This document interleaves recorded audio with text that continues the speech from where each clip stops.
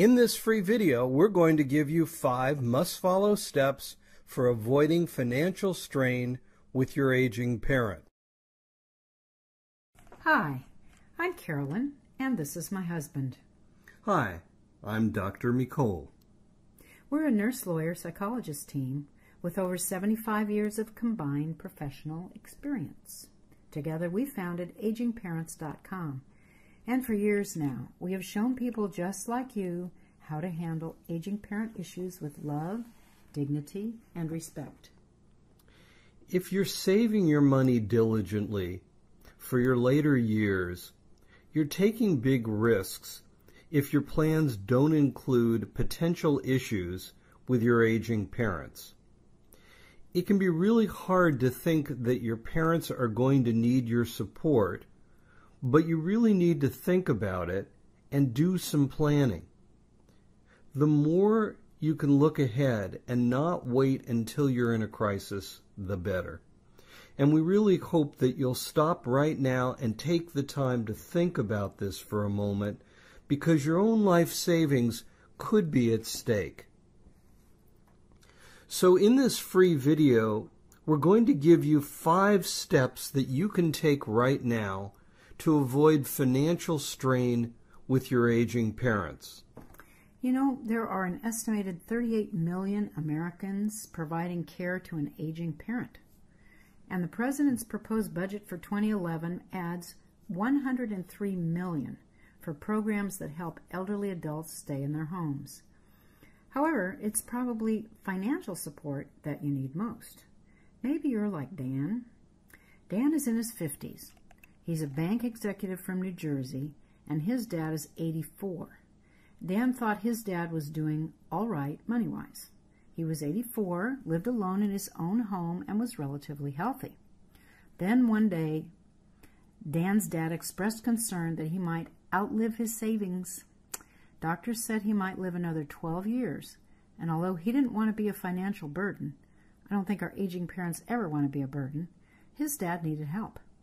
Dad looked at his father's finances and saw they were loaded with high risk investments, such as junk bond funds and things like that. So he turned to his financial advisor for help. Then Dad did Dad, Dan rather, did something he realized should have been done earlier. He sat down with his two sisters for a, a family meeting, and they talked about what to do if their dad could no longer live on his own.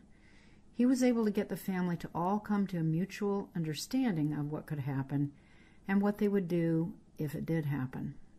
Today, Dan's dad's finances are in better shape, and Dan and his sisters are thoroughly prepared for the next crisis, whether that's medical or financial. Just imagine if Dan waited to have that conversation until after there was a stroke or something even worse. So don't wait any longer. You are not alone in this. So let us help you. Here are five steps you can take right now to avoid financial strain with your aging parent. Step one, get a mutual understanding with your aging parent.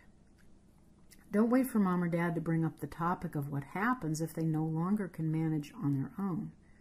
Often families are in denial about aging, preventing the conversation from taking place.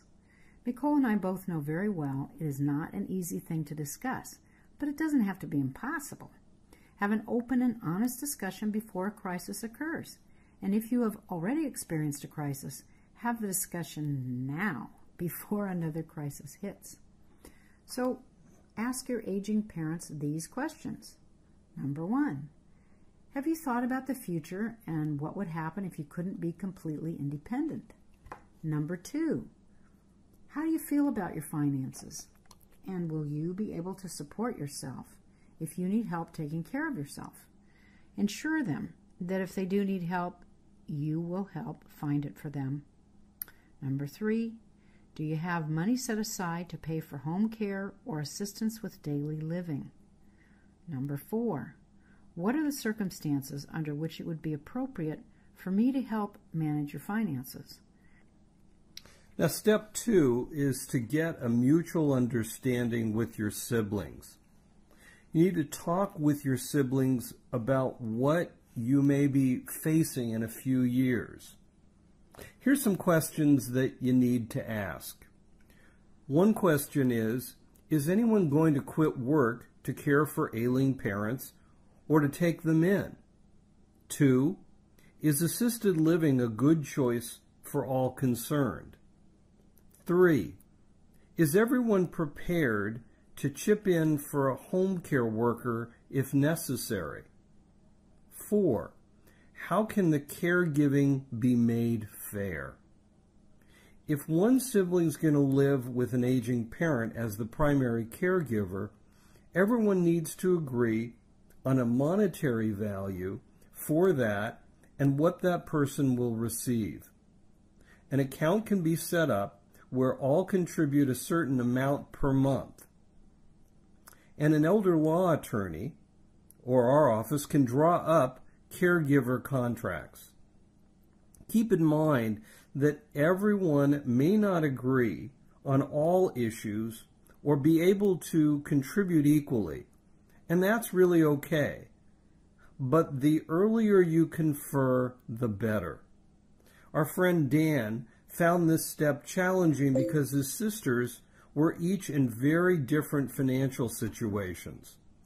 And in the end, the consensus was that they would take turns with caregiving duties at their father's home. Talking to your siblings may feel uncomfortable at first, but believe it or not, now is the time when it's the easiest to do this. Before things get emotionally charged and you and your siblings are less able to think clearly with a cool head. So the time is really now. And then there's step three. You want to assess your parents' financial condition. Get familiar with your parents' financial health. Make sure you know these five things the sources of their income. This could be pension, social security, a retirement, or other account, but you have to know where the money's coming from. Next, the balances in their accounts. You may know they're getting it, but you don't know what's in it, so you need to find that out. Consider having them also put your name on the accounts, as it may be necessary in a crisis. Next, does your aging parent have other means available, such as home equity, to raise cash in a pinch in order to stay in their home or pay bills?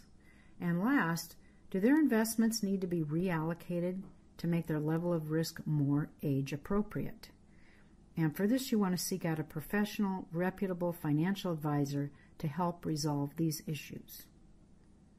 And step four is to get a grip on costs you need to know what Medicare covers and the costs of what it doesn't. It may surprise you or even shock you to learn what it does not cover, for example, in home care. Uh, among many other uh, expenses, costs can add up really fast. Here are the average costs based on 2008 data from the Department of Health and Human Services. $29 an hour for a home health aide. Wow. $59 a day for care in an adult daycare center. $18 an hour for a homemaker services and over $3,008 a month for a one bedroom unit and an assisted living facility. And in fact, here in California, that's quite low, 3,000. We're looking at much larger numbers right now for people to stay in assisted living facilities. Having your parents move in with one of the children or anyone pitching in for in home assistance can really help these costs from derailing everyone's retirement plans. All right, and step five is that you want to assume longevity. That means living a long time. Our parents did planning for us. Now it's our turn to do planning for them. You want to make financial and other plans with the assumption that older parents will live to a ripe old age. And be sure a financial advisor structures their investment portfolios accordingly. We recommend calculating life expectancy at 100 years. Here is a helpful statistic to keep in mind. A 70 year old has a 47% chance of living to 85 and a 3% chance of reaching 100. Assuming long lives may also mean fixing up your aging parents' house so they can comfortably remain there longer, which could ultimately ease your financial burden too. Things like stairway lifts, widened doorways, walk in tubs, and other modifications to accommodate people with physical disabilities are tax deductible. Check with a tax expert regarding other home improvements. If they're not too old or infirm to qualify at affordable rates, make sure they have long term care insurance. Very important. Buying a policy on their behalf may help protect your retirement funds in the long run. Most important of all, don't put off preparing for this. Do it right and do it now. And remember, you are not alone. We are always here to help. So that's it for our five must follow steps on how to avoid financial strain with your aging parent. How can you find out more? Well, if you want to make handling your aging parent's finances easier, you can and we can show you just how to do that.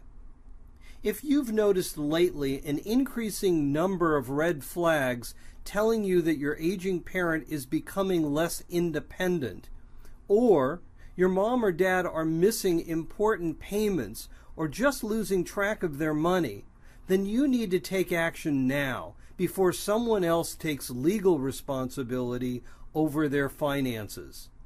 Go to agingparents.com slash money and read about our guide, How to Handle Money for Aging Loved Ones. It's an easy to follow step by step action plan that will make the entire process simple, clear, and straightforward enough for anyone to understand. You can find out more by going to agingparents.com slash money. So, we hope that you've enjoyed this video of our five must follow tips for avoiding financial strain with your aging parents. We've certainly enjoyed making it for you. Have a great day, and we look forward to talking to you soon. Thanks for watching Help with Financial Strains Regarding Aging Parents. If you need more help with financial strains, feel free to visit our website at agingparents.com. To watch more helpful videos, click here to subscribe or watch another video. Also, check us out on Facebook or on Twitter. Thanks again for watching.